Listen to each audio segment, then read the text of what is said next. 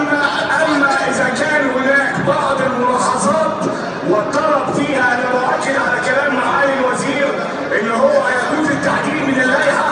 فأنا بطلب من حضراتكم إن المادة 12 من اللائحة تم عملها باحترافية عالية جدا وبتقول فيها إنها ممثلة.